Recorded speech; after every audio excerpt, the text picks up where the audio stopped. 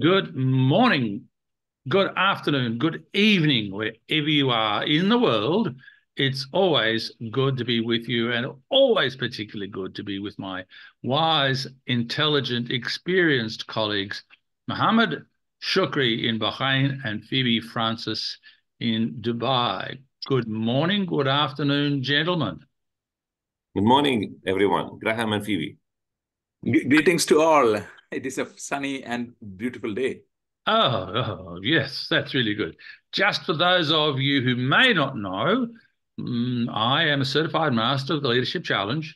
Uh, I've been a certified master for over 10 years, and I've presented this program in many countries, uh, physically in many countries as well as virtually. And it's a, a program that the three of us know how effective it is. It's globally recognized for its effectiveness.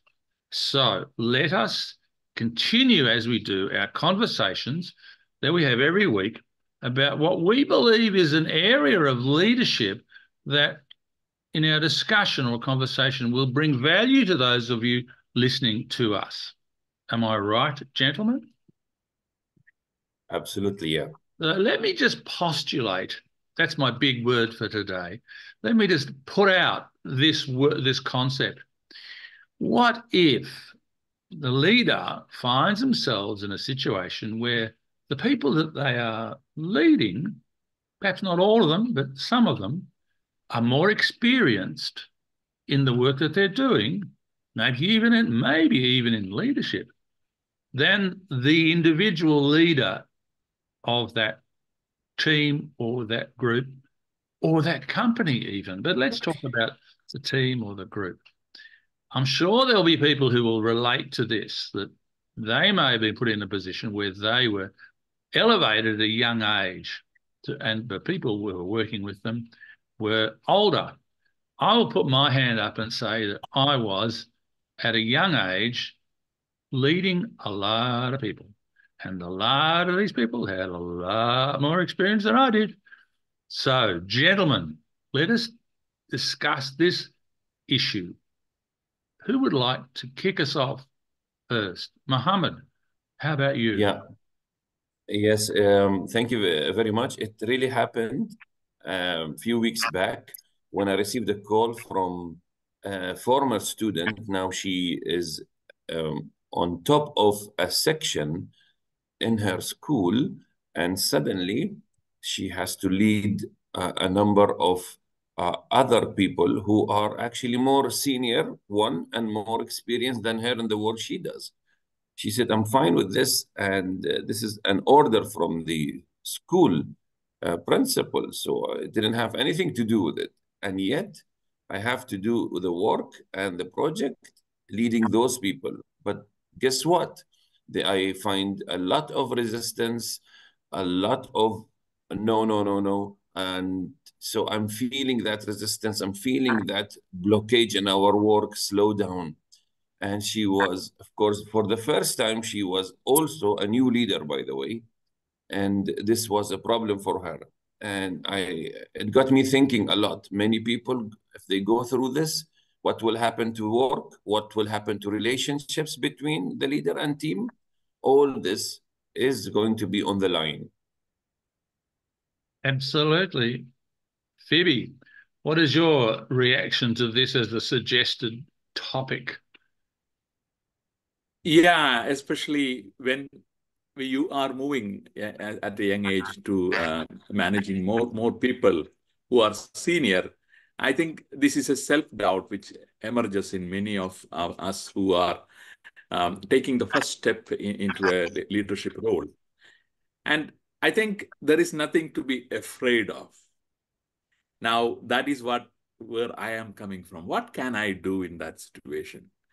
And what what what what way I can uh, uh, you know um, be a, a, leader there where I can lead more of uh, my senior fellow colleagues who have much richer experience, who have much wider worldview. So this is a opportunity which I see we should uh, take head on. In the uh, when I say head on means in in a very polite way with with care So we will discuss that as, as a next step, Graham. That is my perspective. So because there is nothing to worry about, that is a good thing, and that is helping you to have much richer experience from your fellow colleagues. So see that as a lens when you are in that specific shoes. So I, I just uh, like to hear your perspectives too, Graham, before we come to some of the areas and ways in which we can uh, explore this further. Yeah, sure. One of the elements that can often occur in this situation, and maybe with the, the example that Muhammad has given us, this may, may, may apply, but we all know of imposter syndrome. And when someone is in a situation where they immediately identify in real terms, the level of experience that the people who they are leading is more uh, of more uh, significance, more years than they have, they will be likely or possibly thinking, oh my gosh, how can I possibly be the example for these people to follow when they are so much more experienced than I am? They've been around on this planet a lot longer than I have, perhaps.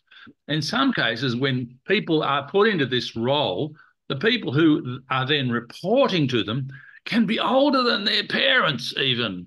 And they might be thinking, how can I possibly be in this role uh, when this woman or this man is older than my father or my mother?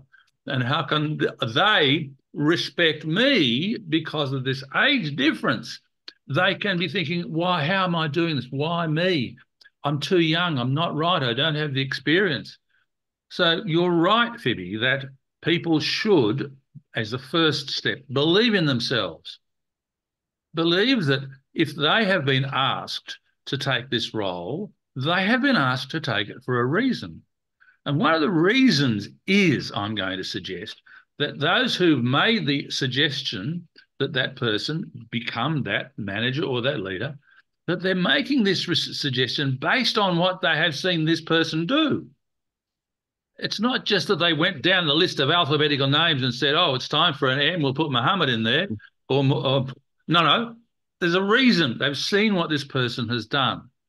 So if anybody's listening to us now, they should be aware that they've been selected to do this because there is a belief that they have the skills and abilities and the understanding to be able to do this. So, That's uh, one good, yeah. That's one good news for uh, the leader, I can add another good news, sure. even before we talk about how to handle. So if I'm the leader who was appointed, this is really good what you said, that there is a reason uh, I was chosen to do this, and I should not be uh, doubtful of myself.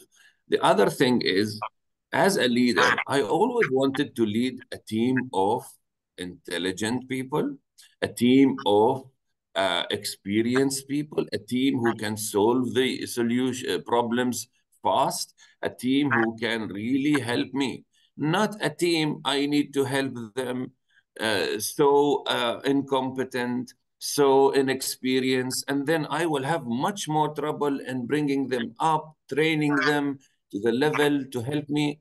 So you should be thankful you have a team who is ready to do wonders in no time because of their experience. That's an advantage, although the communication might be rough at the beginning, but that's another advantage that you have a really capable team.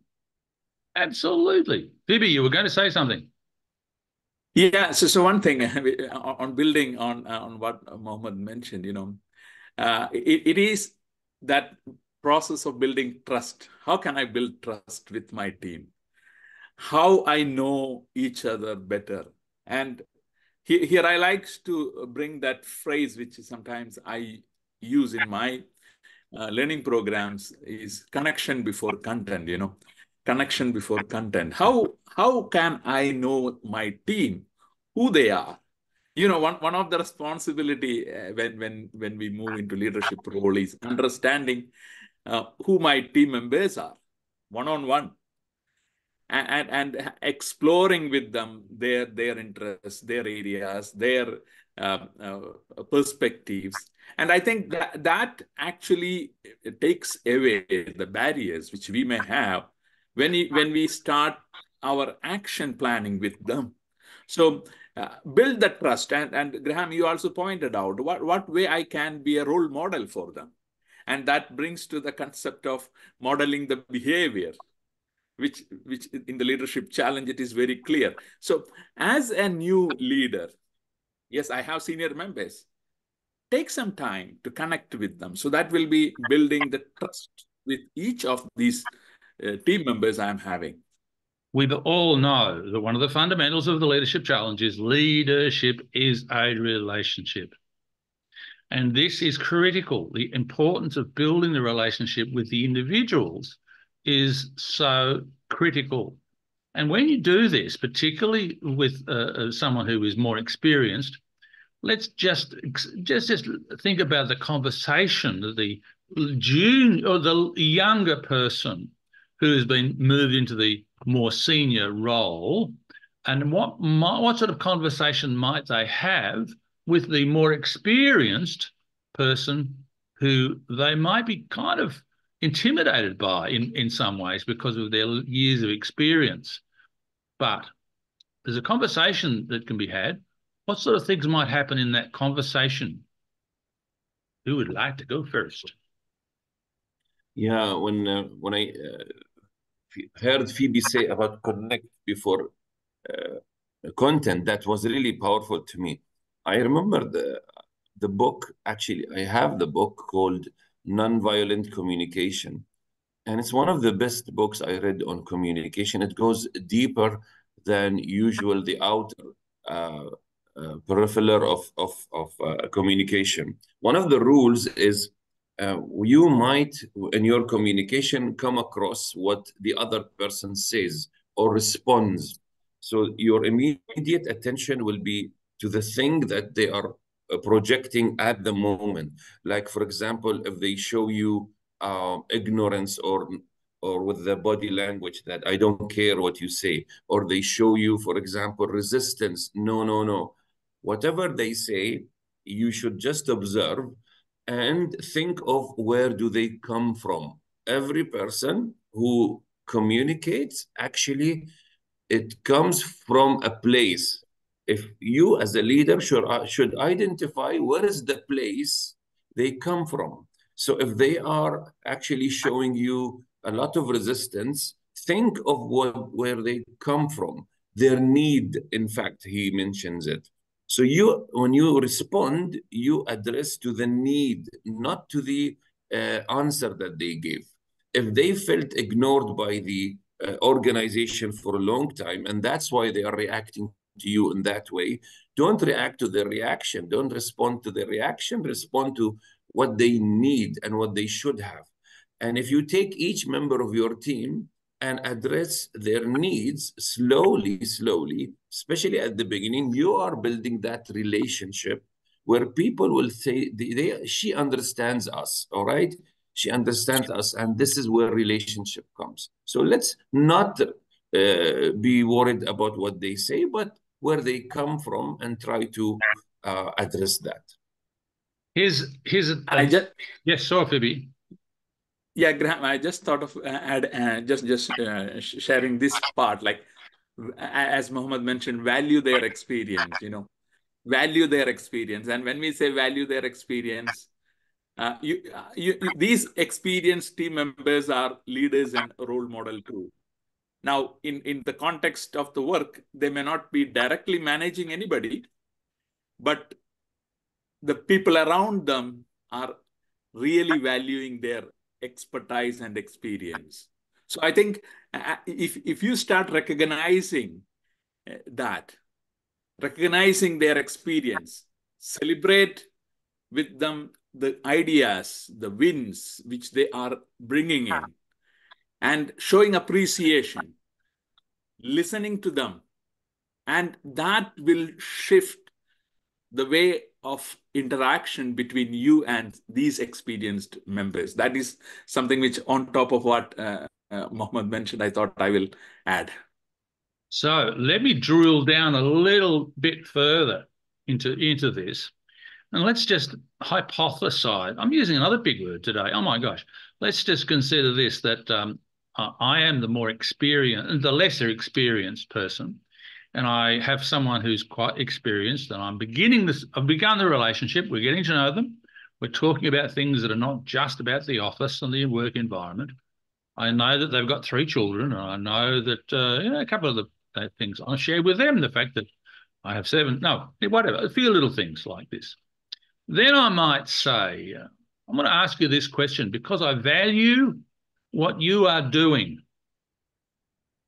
What did I just say? I value what value you're doing.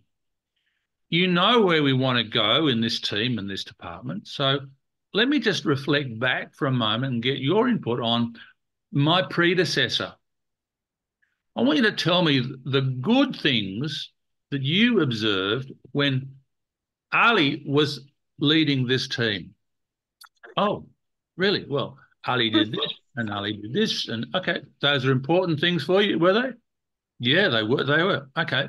Here's my undertaking to you. I will deliver on all of those. I will deliver on all of those. Now another question. What would else would you like me as the leader or manager to be doing for you? It would make life better for you based on your experience, because you've, you've been around a while. Tell me what you would like me to do. Oh, well, well, uh, uh, we could, I'd, I'd, like to have conversations with you more than I had with the predecessor. That's good. That's up for me. Always, always happy to do that. What else would you like from me? Uh, well, I'd like a bit of feedback on things that I've done. Happy to do that all the time. And if I see some good things, you know, every time I see them, I'll give you, I'll tell you that that's good. Then I might say to this person, what are the really good things that you do? Well, I've been doing this job for 17 years that gives you a lot of experience, doesn't it? Yeah. What do you think you need to improve on?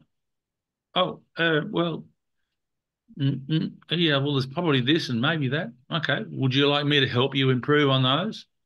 Give you opportunities to be even better in what you're doing?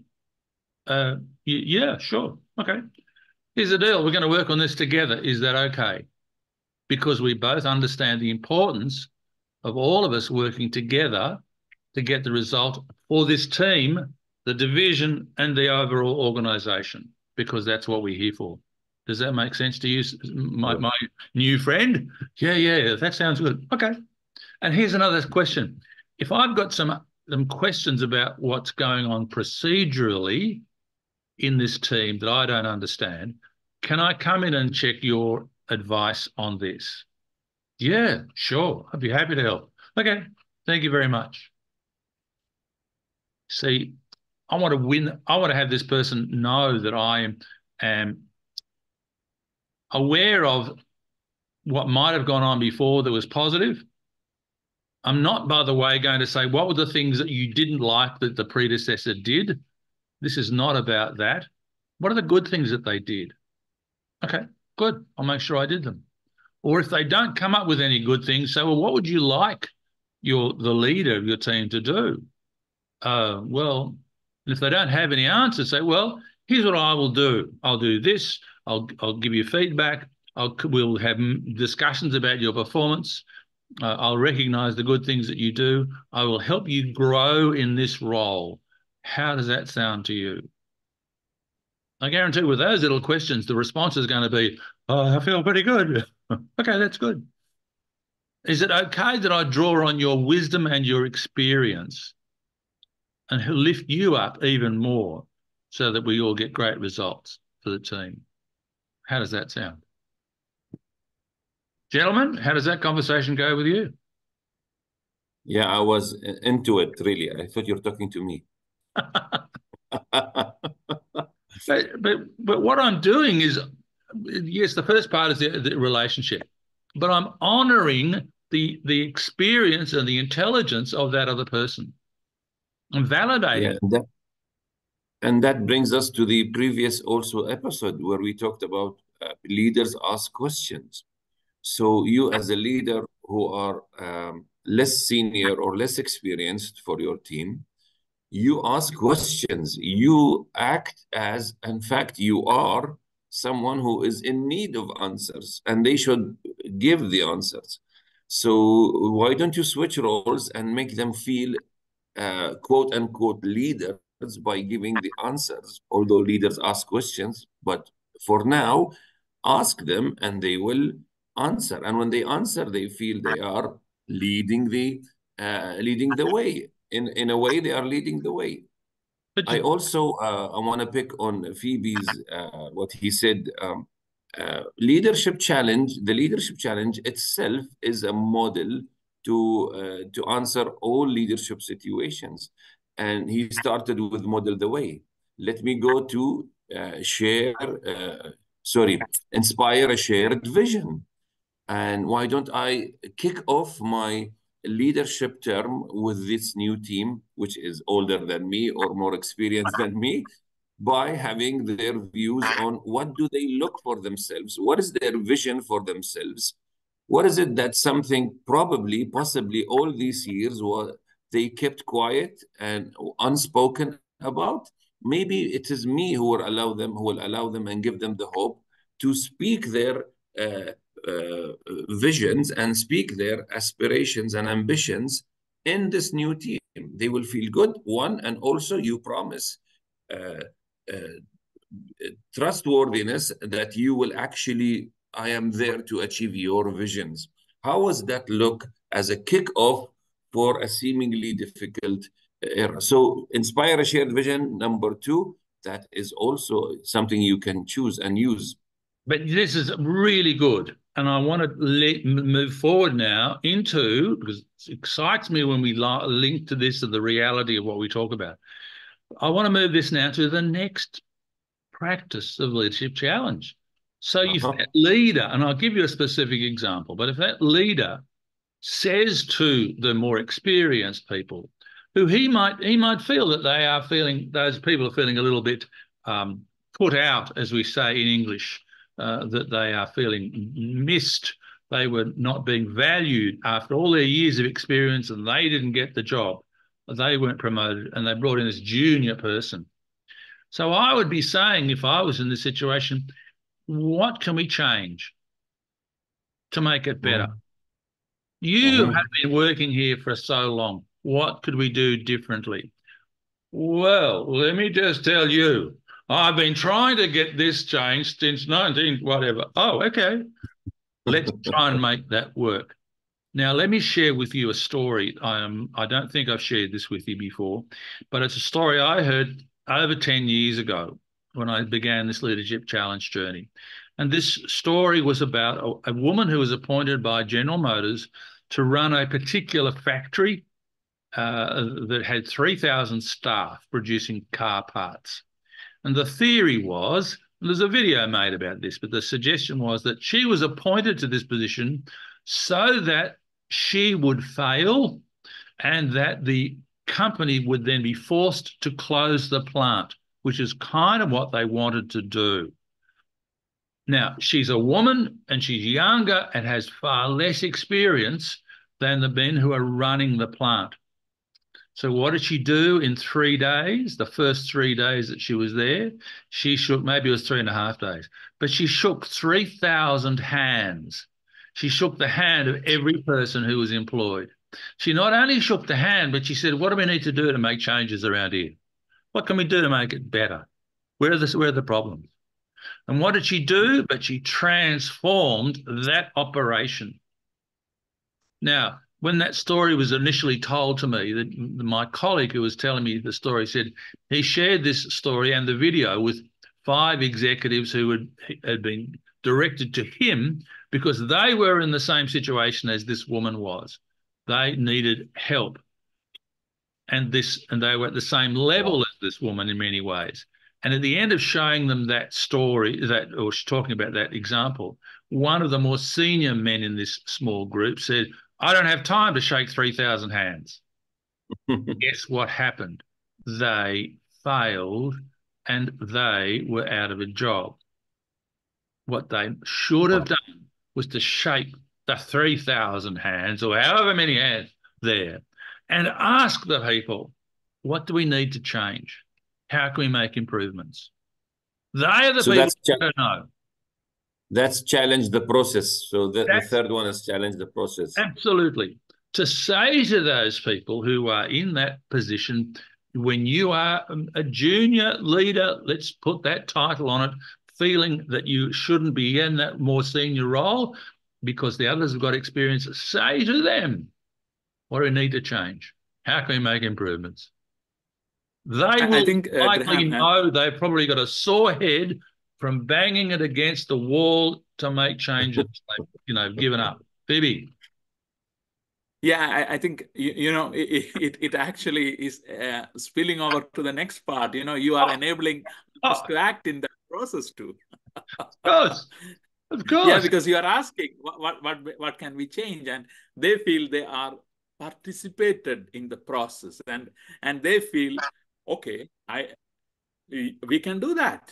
We can do that together, and that that makes the transition and work smoother. You you are enabling change in that yeah. uh, in that process, leading to other people acting and and the again that is actually valuing. You know, I am valued in that place, and I am needed, and uh, that actually flourishes the organization and, and, and that leadership capability in simple terms, when someone comes up with a new with an idea that's been blocked for years, and the leader that we're talking about says to them, "Hang on, you think this can be done?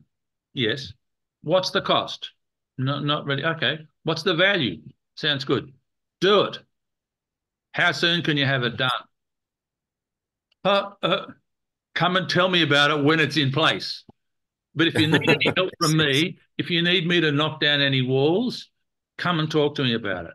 That's what should be done, Phoebe. Thank you for linking those two, linking challenge the process to enable others to act. because it says fourth, yeah, sure. yeah, the fourth behavior, the fourth uh, practice says enable others to act. So in number three, we asked them what what can we do for a change. They said that okay, you do it. That's you do it. Four. Yeah, yeah. In fact, the, the line that we could put onto that, where the person says, do it, the line could be, well, what's holding you back? It's certainly not me. In other words, mm-hmm. you, you, go ahead and you make it work. Now, what's the likelihood of whatever it is being successful? Boy, that's a that's a big statement, isn't it? But what do you, what's the likelihood of it being successful, whatever the change is. I'm going to suggest yeah. pretty high because I, we are in, enabling that person. We are we're saying mm. you do it, you do it. That person is going to feel with the with the trust that I have in them, the confidence that I have in them to do it. They're going to make it work. They want to make yeah. it because of the reflection on on them, and we know the statistics show that 96% of people perform at their best when they are challenged. So there's a pretty high, pretty high uh, end result possibility. Gentlemen, what else? Yeah, we so, so number five. Well, oh, yeah. how could we? It's time to celebrate. How, Muhammad, this is so good of you to remember. You always, I like to say, you always remember. What is the fifth practice? It's uh, encourage the heart. Encourage the heart. Sure. Sure. So when we reach at this stage, if when people act, you know, uh, it is said that motivation comes not before what you do something, but after what you do something, after you're done with it.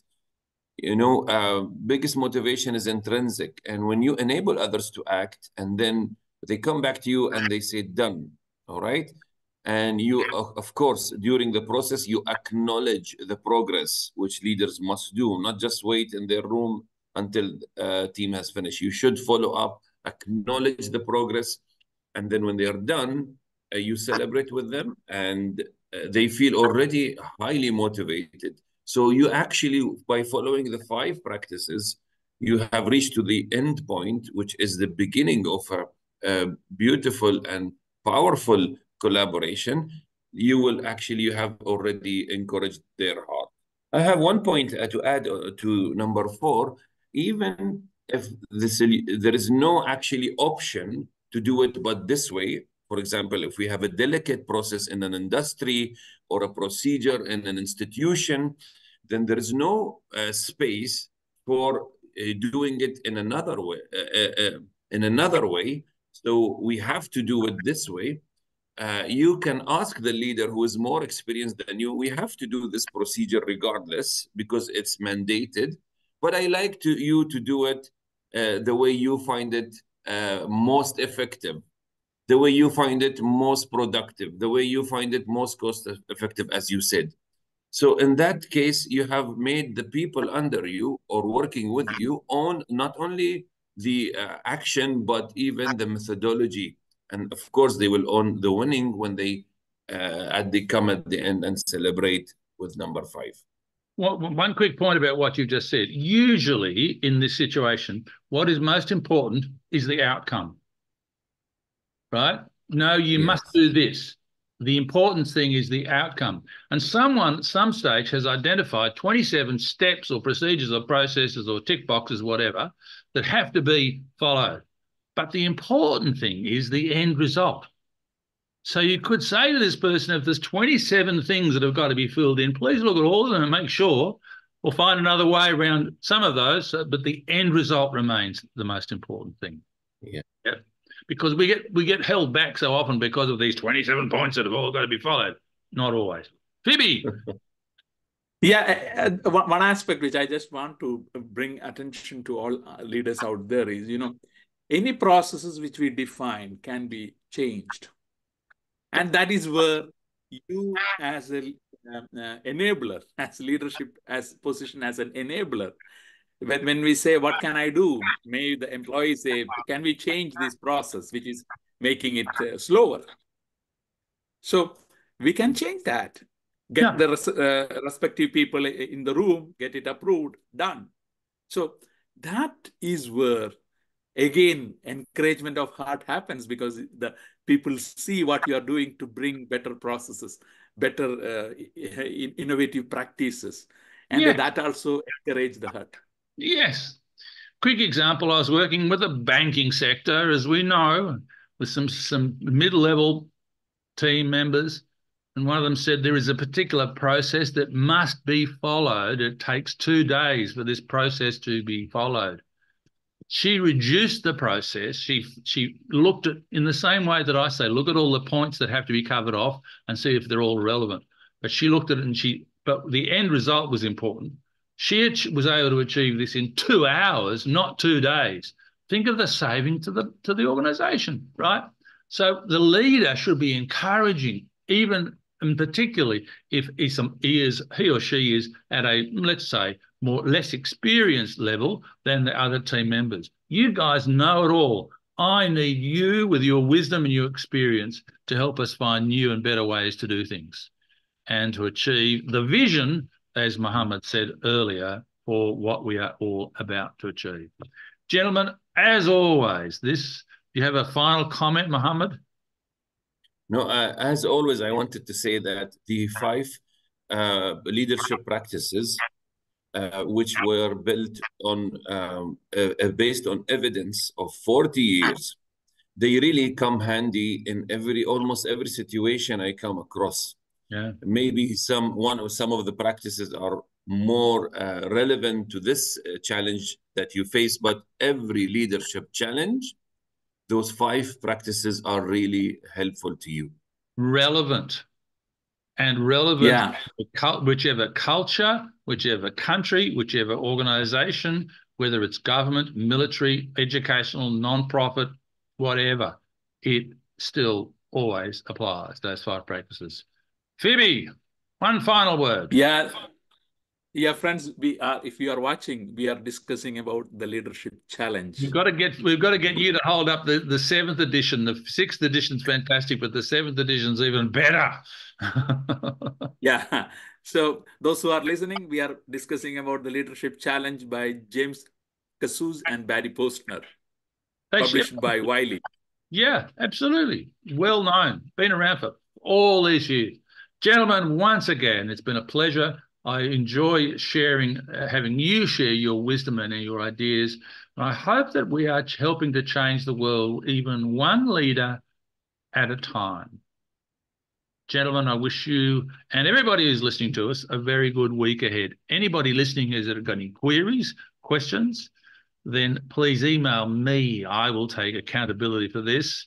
Graham, G R A H A M, at Leadership Challenge Middle East com. And I look forward as we both, all of you and I, both, all of us would love to hear from you out there. Gentlemen, see you next week. Have a great week. Bye. See you now. next week. Thank you. See you all. Subscribe, like, comment.